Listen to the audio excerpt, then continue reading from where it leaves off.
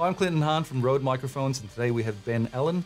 Ben is an ACS accredited cinematographer, and he's done well over a thousand TV commercials as well as music videos, primetime TV drama, documentaries, and feature films. He also does a lot of color grading and sound mixing. Now, Ben, great to have you here. Thanks for coming in. Thanks, Clinton. Good to be here. I'm really looking forward to this episode of What's in Your Kit Bag. Quite unusual, actually, I would say almost fundamental, where in this day and age we use a lot of cameras and lenses, which is what we do. Yeah. Uh, you have quite an interesting collection of kit, so I want to know exactly why this is so important. Okay. Uh, I've been using some variation on um, this kit um, on every shoot I've done for the last 15 years, Mm. and um, and it's never had a camera or lens in it. And Great. the reason for that is I use lots of different cameras, whatever's appropriate for the job. And these are the essential tools for me to do my job, whichever camera I'm using.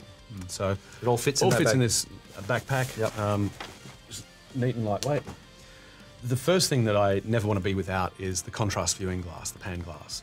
And if you see just about any photo of Conrad Hall, um, the late great three-time Oscar-winning cinematographer, he's always clutching one of these. Yeah. And there's a reason for that because among the other uses for these, it gives you really clear visual information about the location, angle, and character of the shadows. Great. And that at the heart of it is really the, um, the the soul of cinematography is where you place the shadows and what they look like.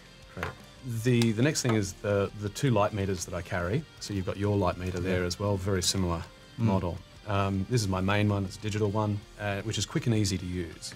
Uh, the backup one is an analog one, which uh, is incredibly reliable and accurate and doesn't require batteries. A backup meter is fantastic because you never have to worry about whether you've got batteries for the backup meter as well. Yeah. It also gives you really objective information. So if I'm, in a, say, in a dark room shooting, um, and then looking at the monitor and there's a bright image on the monitor, I, I look around the room and see a soft light and your eyes adjust. Yeah. Your eyes visually will be telling you different things depending on the circumstance. Great. Um, whereas the light meter is always the same. It's always going to tell me the same information. So there's still merit in using a light meter. Absolutely. Yeah. I think there's, um, if anything, there's probably more merit in using light meter now than there used to be with film.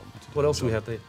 Um, this is uh, Viewfinder, uh, what a lot of people would call a director's viewfinder. It's a Yeah. great tool for cinematographers as well because what it does is it allows you to frame up a shot um, without a camera there. So if I choose a camera position, line up a shot, and I know, okay, I, I'm shooting on 35 mil, then I need the 50 mil to execute this shot.